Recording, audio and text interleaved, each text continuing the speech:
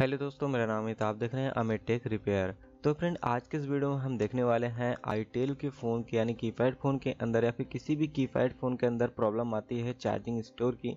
तो हमारे पास है इक्कीस तिरसठ, इसके अंदर चार्जिंग स्टोर की प्रॉब्लम है। कस्टमर का कहना है कि दिन भर रात भर यहाँ पर चार्ज में लगा कर छोड़ता है, फिर भी ये चार्ज नहीं होता है, यानी चार्जिंग इंक्रीज नहीं होता है। जबकि यहाँ पर आप देख सकते हैं चार्ज कनेक्ट करने के बाद हमारा चार्जिंग हो रहा है। यहाँ पर हमने चार्जिंग भी, यानी कि चार्जर को भी चेंज करके देख लिया है। नया चार्जर भी डाल के देख लिया, फिर भी ये प्रॉब्लम सॉल्व नहीं हुआ है। तो चलिए स्टेप बाय स्टेप हम देखेंगे कि इस प्रॉब्लम को आप कैसे सॉल्व कर सकते हैं। तो उससे पहले चैनल पर पहली बार हो चैनल को सब्सक्राइब करके बेल आइकन को प्रेस कर लेना। आपको कोई भी सॉफ्टवेयर या ड्राइवर की ज़रूरत है, हमें टेलीग्राम पर फॉलो कर देना। यानी कि इंस्टाग्राम पे जैसे आप मैसेज करेंगे, आपको टेलीग्राम पर उसका लिंक प्रोवाइड कर दिया जाएगा और यहाँ से उसको डाउनलोड करके इसका यूज़ कर पाएँगे। तो सबसे पहले हम यहाँ पर आपको दिखा देते हैं कि इसकी वोल्टेज कितना दे रहा है यहाँ पर। तो हमने चार्जिंग प्लग इन कर लिया है और सिंपल से यहाँ पर हमने 20 वोल्ट मीटर सेट करा और देख सकते हैं 4.1413 के आसपास वोल्टेज आ रहा है, जो कि हमारे बैटरी चार्ज करने के लिए इनफ है। यहाँ पर अगर आप देखें तो वोल्टेज प्रॉपर आ रही है फ़ोन एक बार भी ओपन नहीं हुआ है, फिर भी यहाँ पर ये चार्ज स्टोर नहीं हो रहा है। इतने वोल्टेज में हमारा चार्जिंग स्टोर होना चाहिए। लेकिन फिर भी ये नहीं हो रहा था। इस कंडीशन में आपको क्या करना चाहिए और कैसे इसको फिक्स करना है, वो चीज़ इस वीडियो में हम देखेंगे। साथ ही साथ हम आपको इसका प्रूफ भी दिखाएँगे कि 100 परसेंट ये वर्किंग है या नहीं है।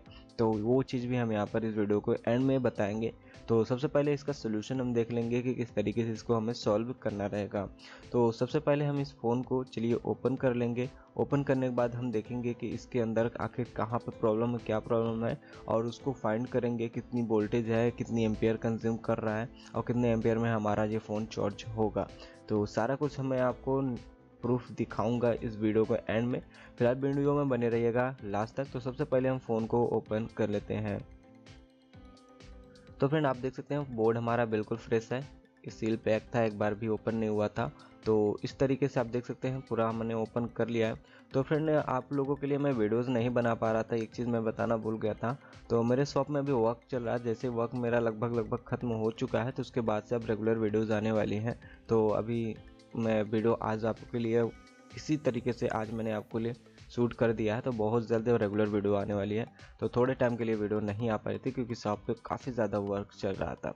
तो चलिए, अभी हमने इसको ओपन कर लिया है। तो इसका जुगाड़ मैं आपको बता दूँ, किसी भी आपको चाइनीज़ सर्किट बोर्ड होते हैं, वहाँ पर आप देख सकते हैं इस तरीके से रेड रेड जो आपको यहाँ पर जीनर डायोड देखने को मिल रहा है ना, इसका मैं यूज़ करने वाला हूँ। लेकिन इसको मुझे कहाँ, कैसे यूज़ करना, वो चीज़ भी आप इस वीडियो में देख कर ही जाना। तो सबसे पहले मैं इसको रिमूव कर लेता हूँ यहाँ से। जितने भी सस्ते जो आपके पास चाइनीज़ सर्किट होते हैं चार्जर होते हैं, उसके अंदर ये जीनर डायोड एक दो तीन ज़रूर देखने को मिल जाते हैं।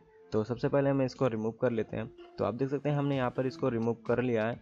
यहाँ पर मल्टीमीटर को बीप के रेंज में सेट करेंगे, ठीक है? तो सेट करने के बाद इसको मुझे चेक करना रहेगा, ये प्रॉपर वर्किंग है या नहीं है। तो इसके लिए मैंने इसको यहाँ पर देख सकते हैं सबसे पहले यहाँ पे पॉजिटिव को पॉजिटिव और नेगेटिव नेगेटिव पर लगाया तो आप देख सकते हैं कोई भी रीडिंग हमें देखने को नहीं मिला। बीप के रेंज पर सेट करने के बाद, अब यहाँ पर रिवर्स कर दूँगा। रिवर्स करने पर आप देख सकते हैं पाँच सौ तिहत्तर के आसपास हमें वोल्टेज देखने की रीडिंग देखने को मिल रही है। तो यहाँ पर ये चीज़ वर्किंग है, पूरी तरीके से रीडिंग है। यहाँ पर पाँच सौ से लेकर छः सौ के आसपास की अगर रीडिंग आ रही है तो आपका फ़ोन अच्छे तरीके से चार्ज हो जाएगा, कोई भी प्रॉब्लम नहीं आएगा। तो ये मेरा पाँच सौ तिहत्तर के आसपास है तो थोड़ी सी फास्ट चार्ज करेगा। बहुत ज़्यादा फास्ट नहीं होगा नॉर्मली थोड़ी सी फास्ट चार्ज करेगा ये चीज़। तो इसलिए कोई दिक्कत नहीं है, इतना भी चल जाएगा, ठीक है? तो हम यहाँ पर अभी जीनर डायोड कहाँ पर, किस तरीके से, किस लाइन पर फिक्स करना है, वो चीज़ें आपको अभी हम दिखाएँगे। तो सबसे पहले हम आपको दिखा देते हैं इस पर वोल्टेज कहाँ पर कितनी आ रही है, ठीक है? तो और कौन सी लाइन कहाँ पे कहाँ पे जा रही है। तो सबसे पहले हम मल्टीमीटर को 20 वोल्ट पे सेट कर लेंगे और यहाँ पर हम आपको दिखाएँगे, यहाँ पर ग्राउंड हमने माइनस रख दिया और यहाँ से पॉजिटिव आउटपुट देखे तो 4.11 करके आया। और यहाँ पर जो हमें चार्जिंग की वोल्टेज है फाइव वोल्ट की समथिंग आ रही है यहाँ पर और हमारा आउटपुट जो बैटरी कनेक्टर पर आ रहा था, वो चीज़ अगर आप, आपको दिखा दें तो यहाँ पर देख सकते हैं फाइव वोल्ट चार्जिंग की आउटपुट आ रही है और बैटरी पे 4.12 जो हमने पहले अभी देख रखा है। अब यहाँ पर इस वोल्टेज को बढ़ाने के साथ साथ एम्पियर को भी बढ़ेगा। थोड़ा सा वोल्टेज और एम्पियर दोनों यहाँ पर बढ़ने वाले हैं।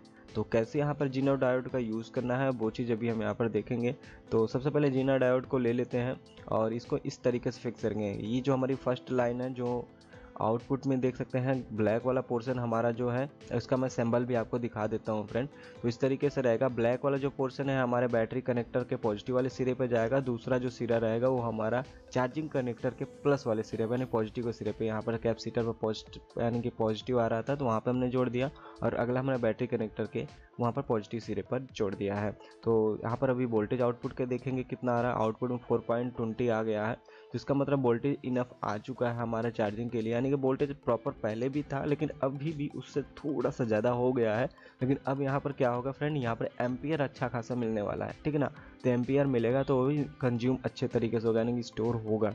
वहाँ पर एम्पियर की ही प्रॉब्लम की वजह से यहाँ पर स्टोर नहीं हो रहे थे, लेकिन अब यहाँ पर एम्पेयर हमें प्रॉपर मिलेगा इस जीनो डाउट के मदद से। तो प्रॉपर तरीके से यहाँ पर ये, यहाँ पर चार्जिंग सेफ़ होने वाली है, यानी चार्जिंग स्टोर होगी। तो जल्दी से हम इसको फिक्स कर लेते हैं, फिर आगे हम चेक करेंगे कि इसका प्रूफ देने की बारी आ गई है अब यहाँ पर तो इसका मैं प्रूफ अभी आपको दिखाता हूँ। तो सबसे पहले मैं इसको पैक कर लेता हूँ।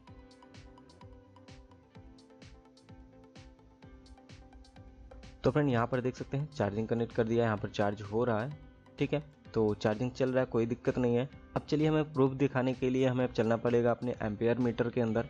वहाँ पर हम देखेंगे कि कितना एम्पियर यहाँ पर कंज्यूम हो रहा है और कितने एम्पियर में हमारा ये फ़ोन चार्ज होगा या नहीं होगा।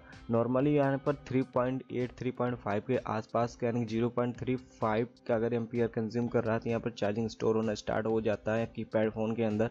तो अभी आप देख सकते हैं यहाँ पर हम मल्टीमीटर को यहाँ पर दिखा देते हैं आपको। ये देख सकते हैं हमारा एम्पियर मीटर है। तो 4.9 आपको दिखाई नहीं दे रहा होगा शायद। तो आप देख सकते three point eight four point nine इस तरीके से हमारा यहाँ पर एम्पियर कंज्यूम हो रहा है। यहाँ पर इसके पहले जो एम्पियर था ज़ीरो पॉइंट वन मतलब कि nine three nine three nine four इस तरीके से एम्पियर ले रहा था। अभी एम्पियर हमें पूरा प्रॉपर तरीके से देखने को मिल गया यानी three zero point three five के आसपास पहुँच गया तो हमारा फ़ोन अच्छे तरीके से चार्ज होना स्टार्ट हो जाएगा। तो हमने यहाँ पर आपको प्रूफ भी दिखा दिया। वीडियो आपको कैसा लगा मैं कमेंट करके ज़रूर बताना। वीडियो पसंद आया होगा तो वीडियो को लाइक कर देना। चैनल पे पहली बार चैनल को सब्सक्राइब करके बेलाइकन को प्रेस कर लेना ताकि इसी तरीके का और भी मोबाइल रिपेयरिंग से रिलेटेड वीडियोज़ आप तक मैं पहुँचा सकूँ और अपने नॉलेज को आप इम्प्रूव करके अपने काम को भी बेहतर कर सके। तो चलिए मिलते हैं किसी नए वीडियो में किसी नए टॉपिक के साथ। तब तक के लिए जय हिंद, वंदे मातरम।